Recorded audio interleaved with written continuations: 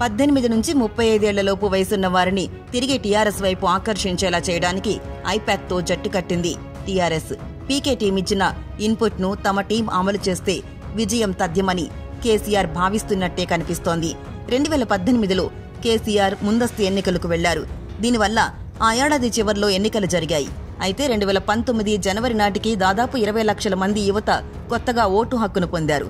అంటే రెండు వేల పద్దెనిమిదిలో జరిగిన తెలంగాణ అసెంబ్లీ ఎన్నికలకు దూరమైన ఈ యువత రెండు వేల పంతొమ్మిదిలో జరిగిన సార్వత్రిక ఎన్నికలకు ముందు ఓటు హక్కును పొందింది.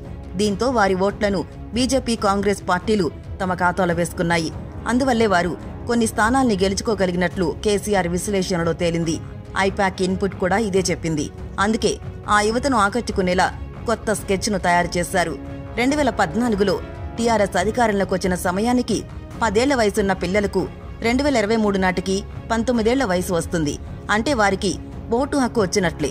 సో అలాంటి కొత్త ఓటర్లకు తెలంగాణ ఉద్యమ చరిత్ర అందులో కేసీఆర్ పాత్ర టీఆర్ఎస్ పోరాడిన తీరు ఇవన్నీ తెలియచెప్పాల్సిన అవసరం ఉంది. ఆ పనిని చేపట్టేలా ఐపాక్ సేవలు తీసుకోవాలనుకున్నారు కేసీఆర్. టీఆర్ఎస్ అధినేత కులమతాల గురించి మాట్లాడడానికి కారణాలు లేకపోలేదు. దుబ్బాక జీహెచ్ఎంసీ హుజురాబాద్ ఎన్నికల్లో బీజేపీ సోషల్ మీడియా యాక్టివ్గా ఉండడం వల్లే కమలం గెలుపు సాధ్యమైంది.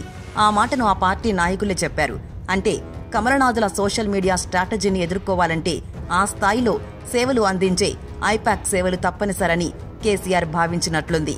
భవిష్యత్తులో జాతీయ రాజకీయాల్లో క్రియాశీలక పాత్ర పోషించాలన్నా కొత్త కూటమి ఏర్పాటు చేయాలన్నా దేశవ్యాప్తంగా వివిధ పార్టీలతో విస్తృత పరిచయాలున్న ప్రశాంత్ కిషోర్ సేవలు వినియోగించుకుంటే లాభమనుకున్నారు. అందుకే ఆయన సంస్థతో ఒప్పందం చేసుకున్నారు.